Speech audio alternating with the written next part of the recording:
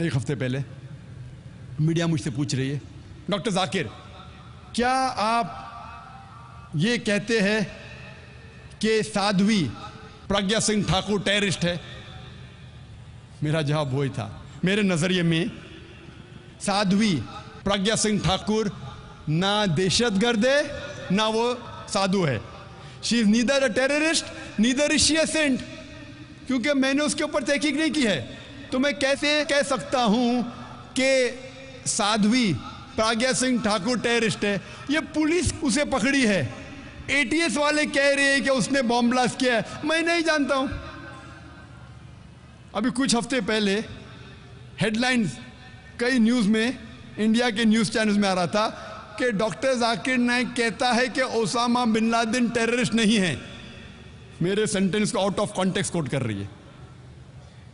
और टेलीविज़न पे दिखाया, Osama bin Laden is not a terrorist आधे सेंटेंस को दिखाते पूरा सेंटेंस में क्या है? Osama bin Laden is not a terrorist neither a saint आधा जुमला दिखाते और लोग मेरे खिलाफ कहते हैं, जाकिर अभी ओसामा बिन लादेन को सपोर्ट कर रहा है।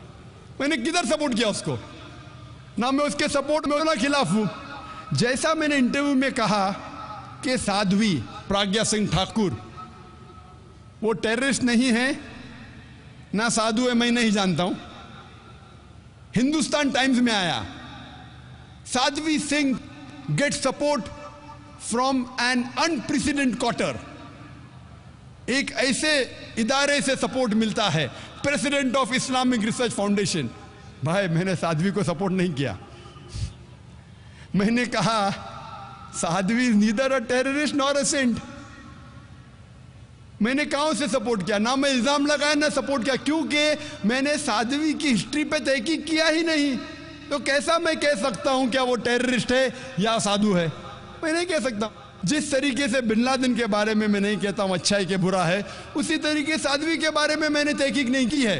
भगत सिंह कह सकता हूँ, क्या टेररिस्ट नहीं था, क्योंकि मैंने तहकीक की है। मीडिया मुझसे पूछती है।